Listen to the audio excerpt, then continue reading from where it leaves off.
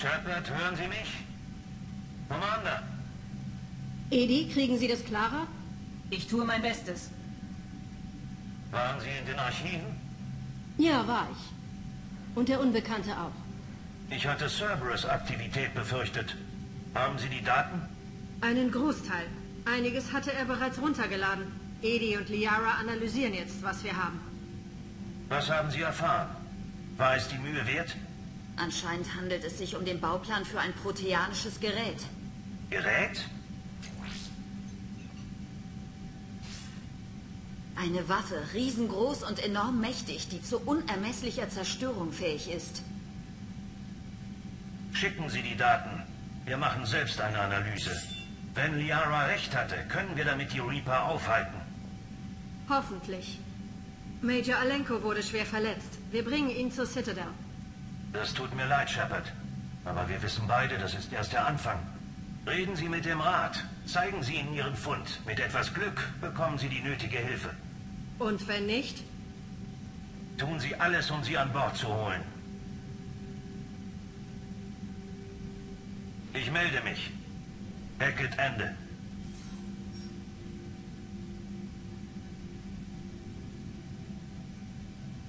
Commander. Edi extrahiert Daten aus der Cerberus-Maschine. Bis wir die Citadel erreichen, liegen uns Details vor, die wir dem Rat präsentieren können. Und Major Alenko? Ich habe getan, was ich konnte, aber wir müssen ihn rasch in eine medizinische Einrichtung bringen. Der Admiral hat recht. Es wird schlimmer, oder? Ja, außer wir halten die Reaper auf. Den Daten nach könnte diese Waffe die Antwort sein, falls wir sie bauen können. Aber ich spüre, dass Sie nicht daran glauben. Ja, Mensch. Wir wissen nicht mal, ob es wirklich eine Waffe ist.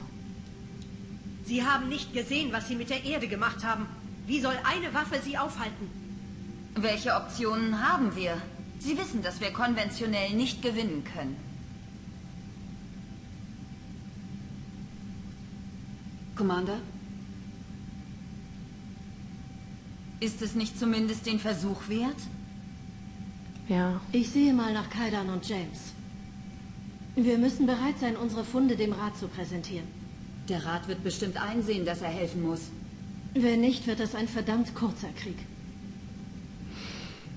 Naja. Der Rat. Ich habe meine Zweifel, dass er sofort auf uns hört.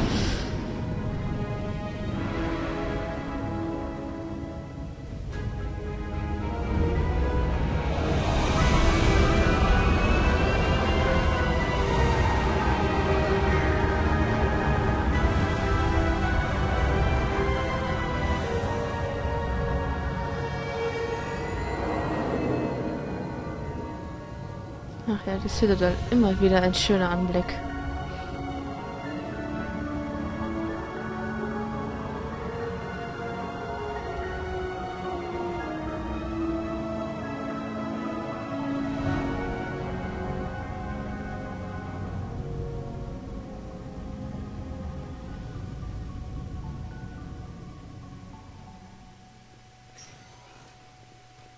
Ich habe kaum einen Puls. Abtransport. Wohin bringen Sie ihn? Huerta Krankenhaus. Das Beste auf der Citadel. Kommen wir nicht mit? Wir müssen unbedingt zum Rat. Stimmt.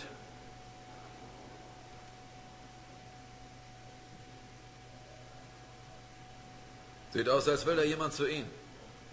Commander Shepard, ich hörte von Ihrer Ankunft. Ach, er. Captain Bailey. Schön, Sie wiederzusehen. Sie auch. Aber es ist jetzt Commander. Glückwunsch. Ah, danke. Ich muss mich jetzt mit Politikern herumärgern und Abgesandte eskortieren. Nichts für ungut.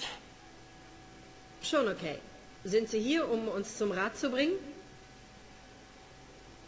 Ich soll Ihnen sagen, dass der Rat Sie erwartet, aber mit eigenen Problemen beschäftigt ist. Wegen des Krieges und so. Sie bitten, die Unannehmlichkeiten zu entschuldigen. Bla bla bla. Sie treffen sie in Odinas Büro, wo sie bald sein werden. Okay. Sie hätten vorher noch Zeit ins Krankenhaus zu gehen und dort den aktuellen Stand zu erfragen. Ach, danke, das ist wirklich eine gute Idee. Das mache ich vielleicht. Nur zu, ich gehe schon mal vor zu Odinas Büro. Einer meiner Männer führt Sie hin. Sie? Ich bin heute nur Tourist und versuche keinen Ärger zu machen. Commander, wir haben ein Problem in den Botschaftsquartieren und könnten Ihre Hilfe brauchen. Ich komme sofort.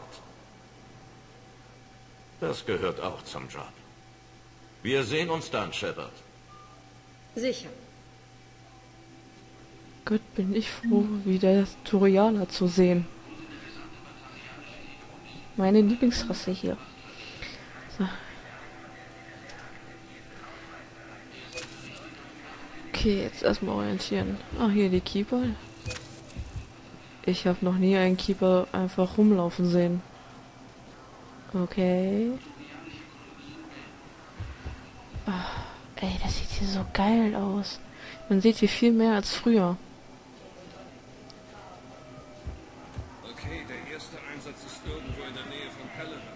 Berichten zufolge sind die Kommunikationsmittel dort ziemlich unzuverlässig. Dann hinterlasse ich Videonachrichten. Das kannst du auch tun. Naja, also Sie haben gesagt, wir sollten wegen der möglichen Signalüberlastung besser überhaupt keine Nachrichten schicken. Sie wollen, dass die Daten über den Krieg durchkommen. Deswegen zählt jedes Datenpaket. Und wie soll ich dann mit dir reden? Ach ja, schön. Ähm. Ja. Gehen wir am besten mal langsam weiter. Dieser Keeper irritiert mich total, dass er hier rumläuft. Ich kann nicht sagen, wann unser Einsatz beginnt oder wo oder warum. Aber Sie sind auf der Normandy, richtig? Ich habe Sie andocken sehen. Und zuletzt war sie auf der Erde. Ist Commander Shepard entkommen? So ist es doch, stimmt's? Also, warum sollte sie hier sein, wenn sie nicht zum Rat will? Ma'am, ich darf darüber nicht sprechen. Dann reden wir jetzt mit mir. Was geht hier vor? Commander, Sie habe ich gesucht. Diana Erlos, Allianz News Netzwerk. Wir könnten einander helfen. Ich komme nicht gerade gut mit Reportern zurecht. Und das macht sie beim galaktischen Publikum eher unbeliebt. Es lässt sich aber ändern. Ich bin Militärreporterin für die Show Battlespace. Wir werden auf fast allen Ratsplaneten gesehen. Meine Produzenten wollen, dass ich auf ein Menschenschiff gehe und ich will auf die Normandy. Warum sollte ich das wollen? Kriege können im Schneideraum gewonnen oder verloren werden. Und dieser Krieg muss gewonnen werden. Ich habe eine Sicherheitsfreigabe der Allianz und arbeite ohne Team. Sie bekommen ein Vetorecht gegen meine Berichte. Kommen Sie damit zurecht oder muss ich weitersuchen? Naja, wenn wir uns uns vorher angucken wollen, wir können es mal versuchen. Sagen Sie Ihren Produzenten, ich bin einverstanden. Mal sehen, wie es funktioniert. Melden Sie sich schnellstmöglich auf dem Schiff. Noch Fragen? Wie viel Platz bekomme ich? Eine Kiste voll. Zu Befehl, Commander. Mehr hätte ich dir auch nicht gegeben. Uiui. Naja, wollen wir mal Kriegsaktivist-Posten. Ja, wir müssen halt nur mal uns ein bisschen gut stellen mit jedem. Weil wir müssen ja alle auf unsere Seite kriegen, dass sie uns gegen den Krieg gegen die Reaper helfen. Also möglichst freundlich sein. Ich bin gerade überlegen, ob ich die Session jetzt noch weitermache oder jetzt mal langsam Pause mache. Aber, äh, hallo, ein Sucht, die versucht aufzuhören. Das ist so gut wie unmöglich. So. Ah, Ich drücke immer noch auf E. Willkommen, Commander Shepard. Wählen Sie bitte ein Ziel aus. Oh, hm, Einen Moment. Krankenhaus. Das ist alles so schön neu. Ah. Da geht einem richtig das Herz auf. Huerta Ah, das sieht wirklich angenehm aus. Die Schwester hat mir erzählt, dass sie das Baden verweigern und nur mit einer anderen Asari sprechen wollen. Richtig? Kann ich eine Waffe haben? Nein, tut mir leid. Könnte ich dann vielleicht in ein anderes Krankenhaus verlegt werden? Eins ohne Sicherheitszone. Dort wäre eine Waffe doch kein Problem, oder? Und keine Menschen. Wo immer sie mich hinschicken. Es sollte dort keine Menschen geben. Die Menschen sind unsere Verbündeten. Sie trauen Ihnen nicht? Nein, darum geht es nicht. Ich. Wie sehen meine Augen aus? Welche Farbe haben Sie gerade? Vielleicht sollten Sie mir einfach erzählen, was passiert ist. Ich glaube, die hat eine Menschenphobie.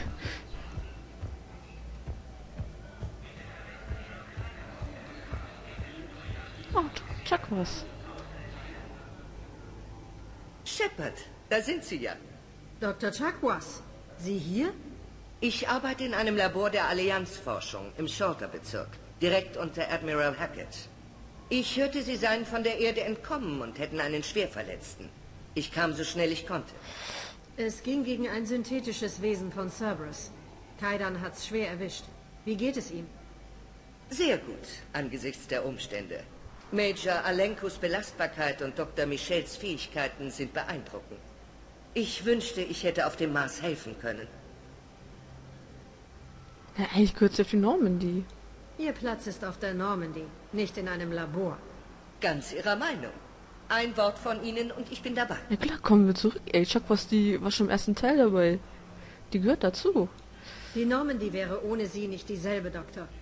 Holen Sie Ihre Sachen. Andockbucht D24. Jawohl, Commander. Und danke. Danken Sie mir nicht so früh.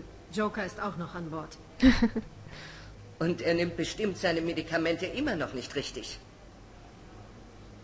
Ach ja, wenn wir die alte Crew zusammenbasteln.